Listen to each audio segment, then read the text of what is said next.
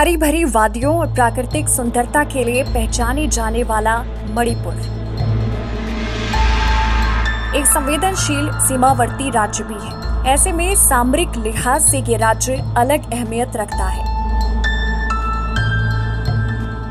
इतने संवेदनशील राज्य में इतने बड़े स्तर पर हिंसा न सिर्फ़ राज्य, बल्कि केंद्र सरकार के लिए एक बड़ी चिंता का विषय है। आदिवासी और गैर आदिवासियों के बीच की ये लड़ाई अब वर्चस्व का जंग बनी हुई है। आखिर क्या है ये पूरा मामला? इस रिपोर्ट के ज़रिए हम आपको बताते हैं।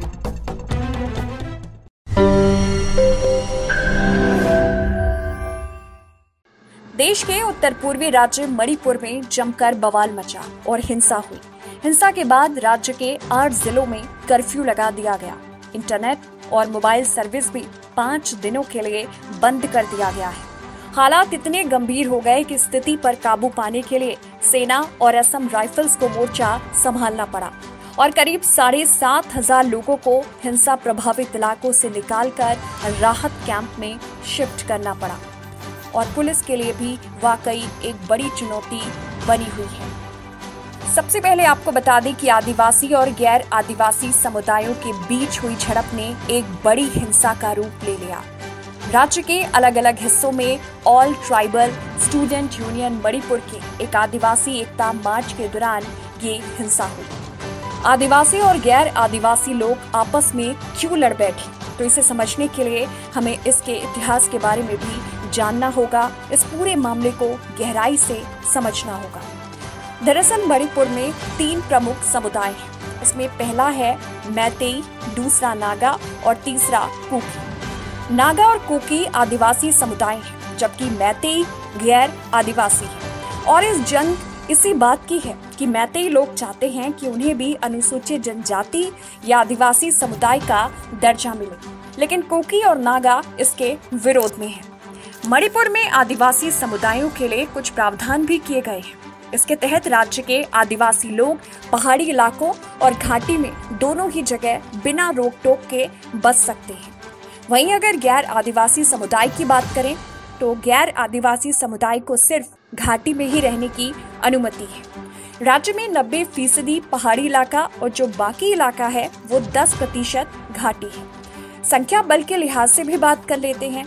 तो संख्या बल के हिसाब से अगर हम बात करें तो मणिपुर में तिरपन प्रतिशत से ज़्यादा आबादी मैतेई समुदाय की है, जबकि नागा और कुकी समुदाय की आबादी 40 फ़ीसदी के आसपास है। तो एक तरह से इसे वर्चस्व की लड़ाई भी कहा जा सकता है। मैतेई समुदाय जहाँ पिछले करीब 10 सालों से अनुसूचित जनजाति का दर्जा दिए जाने की मांग कर रहा है, और इसी कड़ी में मैतेई ट्राइब यूनियन ने मणिपुर हाईकोर्ट का रुख किया। अदालत के सामने मांग रखी कि वो राज्य सरकार को उनकी मांग पर विचार करने का निर्देश दे। और इसके लिए राज्य केंद्रीय जनजाति मामलों के मंत्रालय को एक सिफारिश भेजे। हालाँकि इस मामले की सुनवाई के बाद ही पिछले माह अदालत ने अपना फैसला मैतेई समुदाय के पक्ष में सुनाया और राज्य सरकार से केंद्र को सिफारिश भेजने और उनकी मांग पर विचार करने को कहा। कोर्ट ने राज्य सरकार से कहा कि वो चार माह के भीतर केंद्र को सिफारिश भेजे। कोर्ट के इसी फैसले के ही विरोध में all tribal students union of Manipur ने आदिवासी एकता मार्च निकाला और इसी एकता के मार्च के दौरान ही हिंसा भड़क गई। ये मार्च चुरचांदपुर ज़िले के तोरबंग इलाके में हुआ था और इसी रैली में हज़ारों प्रदर्शनकारी शामिल हुए थे। हिंसा पर काबू पाने के लिए पुलिस ने इस दौरान कई राउंड आँसू गैस के गोले भी दागे, लेकिन सब कुछ फेल रहा। इसके बाद सेना और असम राइफल्स को भी बुलाया गया।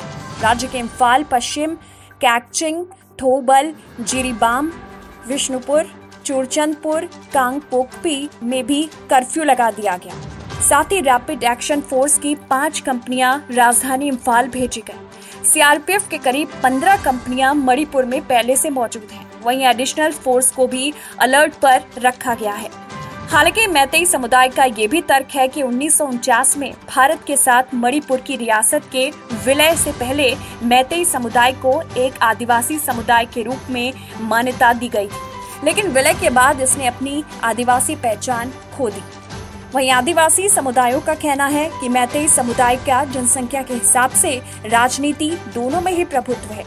उनकी राज्य के 60 में से 40 विधानसभा क्षेत्र घाटी में है। उन्हें डर है कि इससे आदिवासी लोगों को मिलने वाली नौकरी के मौके और दूसरे लाभ भी छिन सकते हैं। इस पूरे मामले को लेकर मुख्यमंत्री एन बीरेन सिंह ने कहा है कि संपत्ति के नुकसान के अलावा कीमती जाने चली गई है, जो कि वाकई दुर्भाग्यपूर्ण है। हिंसा समाज में गलत फहमी का नतीजा है।